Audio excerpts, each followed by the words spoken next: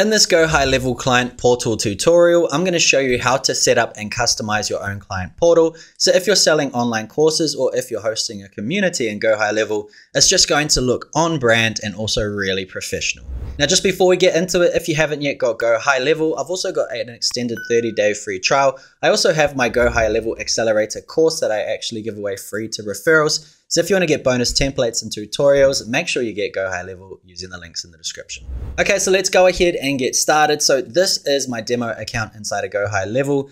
This is actually what we're going to try and achieve today. And this is my own client portal within um, Go High Level. Now, as you can see, we've got my own custom domain. We've got this nice little image as well. And the most important thing here, which I feel like a lot of people neglect, is on different devices, it still scales really nicely. A lot of people are just really lazy when it comes to creating client portals.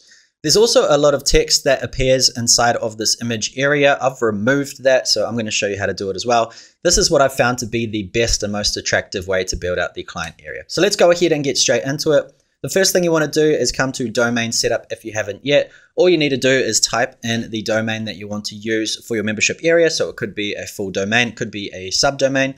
So I used members.philwilson.co. Okay. And then just click on add domain. It's going to give you the prompts to basically add it. Some services they'll actually do for you within like 10 seconds. It's pretty amazing. So go ahead, add that. Once you're finished, let's go ahead and move to the next step. And this is where all of the good stuff's going to happen. This is going to be branding. So once you get into branding, you'll be brought with a portal name and portal description. And this is actually going to be this text over here. And this is the default client portal page. So obviously we want to change this and make it look good. So what we're going to do first of all, and just to let you know, I am going to hide these, but I just want to show you how to do them to start with. So I'm just going to put members area, okay, as the heading. In the portal description, I'm just going to say this is the membership area for students of Phil Wilson, okay. I'll just put Phil actually. There's a very short description window. We've also got our branding colors down here. And then we've got favicon, portal image, and logo. Then we've got a support email address. So I'm just going to put in here hello at philwilson.co. Okay. And also a copyright. So I'm just going to put in here I am Phil Wilson, right? And let me show you what these settings do. Now, the crazy thing with this is the cache inside of the portal settings is so strong. And it took me a really long time to figure this out. But if I went ahead and press refresh now, uh, it's actually worked this time, but a lot of the time it didn't work. So if you want to check your updates, I recommend actually just opening them in an incognito window just to ensure you don't have any cache kept. All right. So that sort of caught me off guard there, but that's, that happened a lot when I was first customizing it. So the next thing is your favicon or your portal image. A favicon, of course, is the little logo at the top. You can't really see mine, but mine's a PW logo for my name. So you could go ahead, and add that in the favicon, favicon area as well as the logo area. But the portal image is actually going to be the one on this side here. So I'm going to show you how to set that up. So let's go now to Canva. What we want to do is click on create. I'm going to choose custom design and use these exact uh, measurements. I'll also link to this image down below if you want to use it, but 1920 by 2160, okay? So go ahead, add those in and create this image. This is going to give us the background. Now, once we've created this, it's time to start designing it. So you can go ahead and either choose a light theme, just keeping in mind it is a light background, so it will look like one image, or you can do what I have done and create a black image. So I'm gonna choose black. And now it's time to actually add in some messaging. So if you wanted your client portal to have just a black background with this text over it, you can just create imagery maybe around the top or the bottom. But what I'm going to do is once again show you how to create this one here.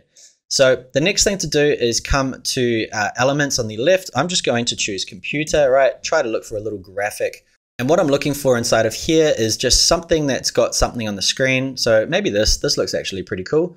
So I'm just going to add this one here, just increase the size a tiny bit, and I'm going to find where center is and just move it down a fraction, okay? Because what I want to do first is actually put maybe a heading, and then I'm going to add in a little description.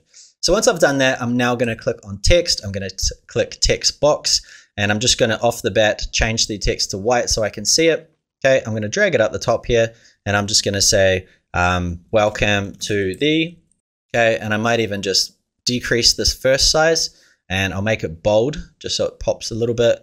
And then I'll copy and paste it. And then I'm just going to put members area. Okay. And I'm just going to pump this up quite a bit because obviously this is the main, um, the main text for this entire back office uh, image. Okay, welcome to the members area. That looks pretty cool. And now all I'm going to do is once again text box, um, and I'm just going to drag it up a little bit. This time I'm not going to have it as bold. I'm just going to leave it as regular text. All right, and I might make it around, ooh, I don't know, 38. Doesn't need to be too big. Might just drag it down a little bit here. And what I'm going to say is you can also access all resources from the GoKollab app. Okay, might just uh, make a little bit wider. Because if you don't know already, the GoKollab app is Go High Level's grey label app um, for the courses and for communities. Right, so that looks pretty good. Maybe separate it down a little bit. Now what I want to do is also get the iOS App Store logo as well as the Google Play logo. The easiest way to do this is to come into Google, come to images, type in Play Store logo, go to tools, go color transparent. Okay, and this is going to give us a transparent background. So we'll just choose this one, um, this one here. I think this looks pretty good. Yep, that looks pretty good. So we'll go save as, all right? Punch that in there. Same with the iOS images. Okay, we're going to go tools, color, transparent. We'll just choose the first one here. Okay, save image as. And then we're just going to go ahead and drop these on our canvas. Okay, so we'll just drag this a little bit smaller, something like that. Just to make it look super legit, because a lot of people, um, a lot of people want to see this sort of thing. So I'll just drop this in. Okay, same thing here. Okay, and we'll just put it to the side. So that's looking really neat, okay? Just fine adjustments. So we're pretty much good to go. That looks actually really fresh. I might just drag these down a little tiny bit. Perfect. So I'm happy with this. I might just even bold GoKollab app. Perfect. So now what we want to do is go ahead and I'm going to call this my um, members area um, image. Okay. Go ahead, click on download. Okay. You can have PNG or JPG. It doesn't matter. Click download. Now let's come back to our members, sorry, let's come back to our settings and now we've got portal image. So click on image. I'm gonna go and upload my download. Okay, and that's been done. Click on save settings. Now, if we go and reload this, okay, and it might take a little while to load it the first time, it looks good, right? It looks really good, except we now have this text on screen, right? So this is where a lot of people get stuck.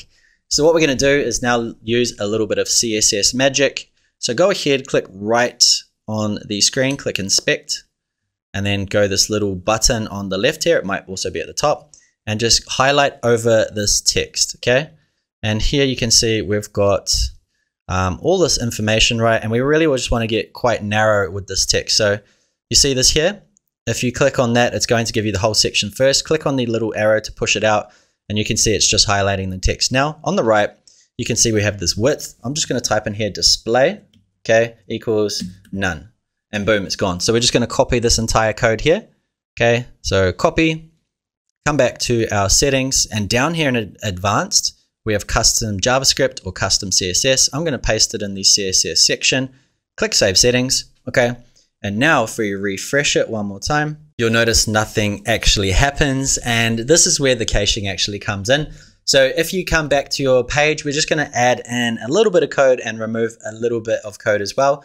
So the first thing to do is backspace the specificity part and just make it look like this. We'll also remove the width because these are just unnecessary pieces of code added.